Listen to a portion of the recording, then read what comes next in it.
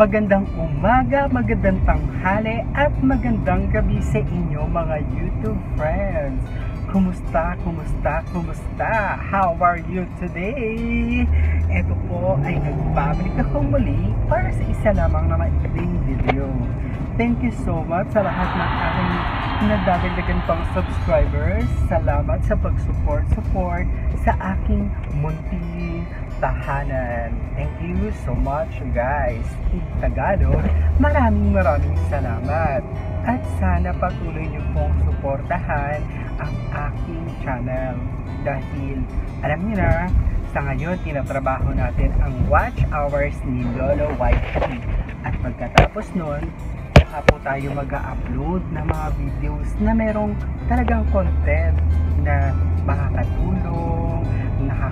nakaka-inspired, at kung ano-ano pa. Yung, yung may topic, hindi lang yung basta video uploads. Kasi sa ngayon, syempre, gumagawa tayo ng mga video uploads nang sa ganun ay may mapanood yung ating subscriber iba.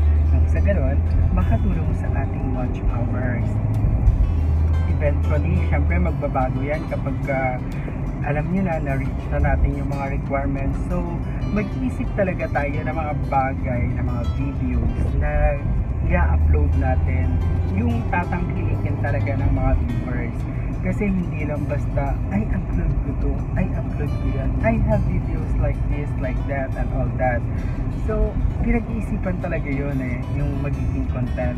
So, hopefully ano, when kapag ka natapos na talaga natin yung yung 4,000 hours, hopefully, hope, letter F, hopefully, ay makagawa tayo ng isang makabuluhang videos na talaga namang, di ba, or mapapatawa tayo, may inspire tayo, yung mga ganung bagay.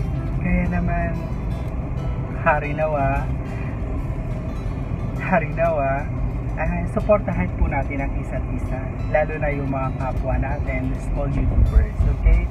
Na you know nagsisimula lang tayong lahat kaya dapat talaga magtutulungan tayo and all that. Kaya naman ngayon pa lang sobrang thank you talaga doon sa mga nag-views ng aking videos. And to all of you guys shout out everybody I love you so much. Alright thank you thank you thank you. Okay? At at hanggang sa muli magkita-kita naman tayo sa aking live stream.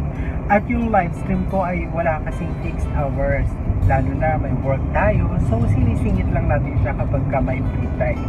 Kaya naman sa mga nakakasama ko. Thank you sa inyo, lalo na kay shout out ga Hazel Joy Sanido. Ga, thank you so much kay pero may wala ako ginaokdan. Thank you, Bidga, ha? At sa iba pa na sumisilip, dumadaan, maraming maraming salamat po sa inyo. Dahil sa mga dumadaan, medyo nababawasan yung oras ko. At sa mga nag naman, sila yung tagapagbayad ng mga oras na nababawas sa akin. Kaya, thank you and have a great day everyone. See you again. Bye!